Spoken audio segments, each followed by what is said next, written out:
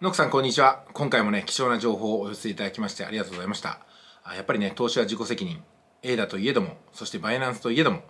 うん警戒はしなきゃなりません。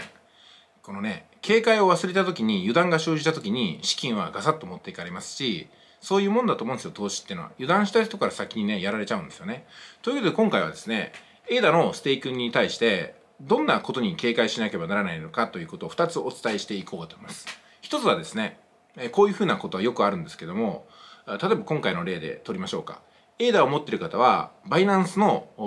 ね、えー、このステーキングっていうので報酬が発生しますよ。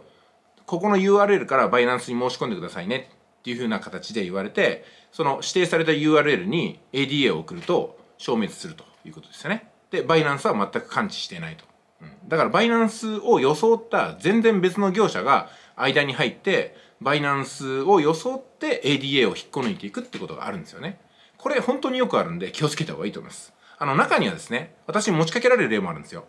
うん、これでここで話しますけどちゃんと。久保さんと一緒に組んで儲けましょうと。ある特定の暗号通貨をどっかの取引所がねものすごく大きな利率で還元するっていうことが今回ね決まったんで久保さんこの URL にたくさんの人の暗号通貨を集めましょうと。そうすると3ヶ月後にもう本当に3倍とか5倍になりますよっていうふうに振り込んだらいいじゃないですか。でその暗号通貨の取引所っていうのは有名なとこだから大丈夫だよって言って URL は全く関係ないものなんですよ。要するにその URL っていうのはあのその大手の取引所とは全く関係ないものをそれっぽく書いた URL なんですよね。その URL 先もその大手の指定した取引所とすごく似たようなイメージのサイトが作られてるんでみんな信用して放り込むんですよね。いざとなったら大手取引所の相談窓口に行けばいいやと思うんですけどもその大手取引所とは全く関係ないところでそういうふうな詐欺案件が動いてるんですよ、まあ、ですんでね甘い話に本当罠がありますんで実はね ADA でもそういう話私持ちかけられたんですぐに断りました。というか無視したんですよね。だその情報すら流してないです。その情報を流すことによってその情報に興味を持ってその情報を教えてくださいっていう人が発生しても困るんで私はねあの知らなかったってことに最初からしますね。ただし相談を受けた場合はその案件私も来ましたけども詐欺ですよっていうふうにお答えするようにはしております。これが一つ目です。二つ目はですねもっと大きな問題です。それはですねバイナンスそのものがまさにスキャムであるっていう可能性です。これはですねバイナンスそのものが最初からスキャムをしているかどうかっていうのは関わらず結局ねバイナンスっていうのは、うん、元を正せばやっぱり中国の共産党のものなんでもうね私たちの自由にならない。バイナンスっていう一つの企業のものになってないと。中国共産党の所有物っていうふうに考えることもできるってことなんですよ。そうだというわけではないですよ。私の警戒心はそこまで来てるってことなんですよ、まあ、ですんでバイナンスが高い利率を支えた時っていうのはそこから離れるようにしてますしそもそもそんなね高い粗利が必要ないんですよもう。自分の力でお金が増やせるようになればそのどっかのね高い利率に依存しなくてもいいんで高い利率のものっていうのは必ずねその利率を払ってる人がいるってことなんですよ。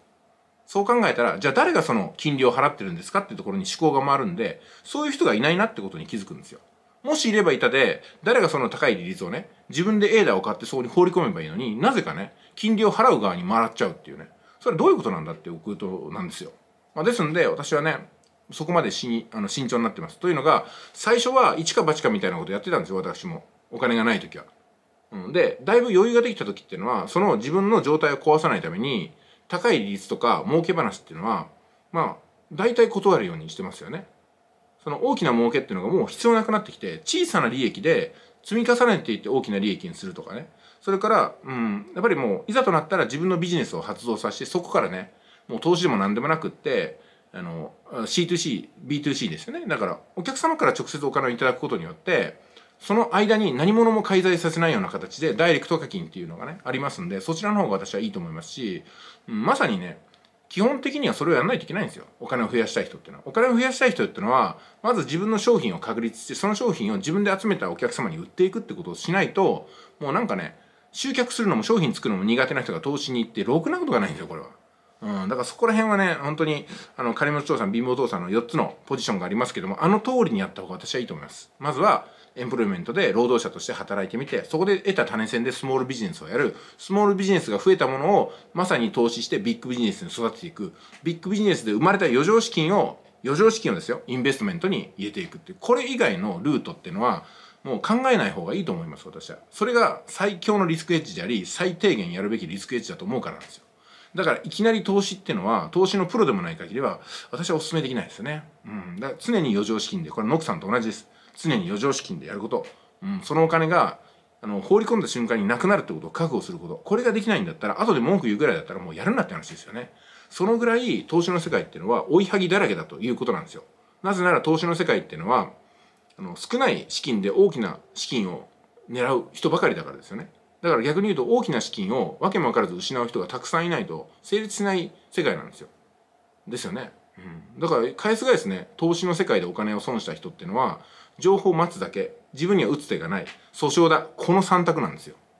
この3択以外にルートがあるようでしたらその方はまあ投資の初心者は抜けてるんじゃないかなと思いますけどもこの3択のうちどれかにしかもうね自分の活路が見出せない方っていうのはもう無力なんですよ。だからそういう方は投資をするべきではないと思いますね。まあ、ですので私の速稼塾のカリキュラムの中でもしつこくしつこくねネットワークビジネスに関してもネットビジネスに関しても投資に関してもビジネスに関してもリスクヘッジをすることっていうのをね何年も何年もお伝え続けてきてどういうふうなのがリスクヘッジかっていうのも伝えてきてるつもりではあります。ということで今回ねノックさんノックさんグッズができたのがすごいじゃないですか。いや本当にねノックさんは着実に自分のテリトリーを広げてるなと思います。すごくファンも増えてますしね私も嬉しい限りでございます。これからもよろしくお願いします。それではノックさんまたお会いしましょう。グッバイ。